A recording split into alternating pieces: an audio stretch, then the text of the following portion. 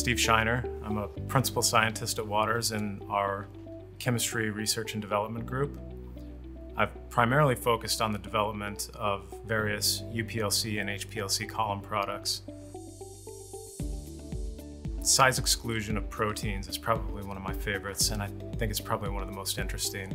Um, just the, the complex nature of proteins, their propensity to interact with everything, and size exclusion by its nature being highly susceptible to extra column system dispersion effects presents a lot of challenges for customers.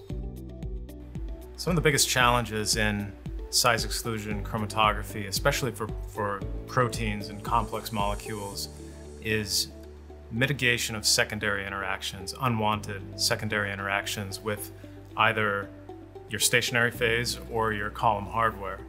When we think of our customer needs in the area of size exclusion chromatography, reproducibility and reliability are first and foremost. The ability to accurately quantitate antibody fragments and aggregates and to be able to do so confidently across column to column and lot to lot is really important. Typically, this, this would require extensive method development and excessive time conditioning columns to achieve optimal performance. Ideally, you'd be able to take a column and plug it into any method, or even achieve highly reproducible, reliable results with common buffers like PBS, with out-of-box performance and very minimal setup time. We're continuously striving for improvement with our products. We're continuously striving to improve our knowledge in applications.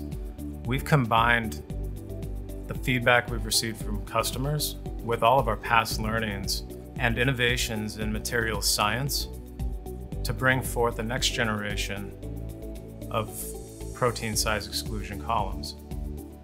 Designing the next generation of size exclusion chromatography columns requires a deep understanding of stationary phase synthesis, hardware, column packing, as well as protein SEC methodology.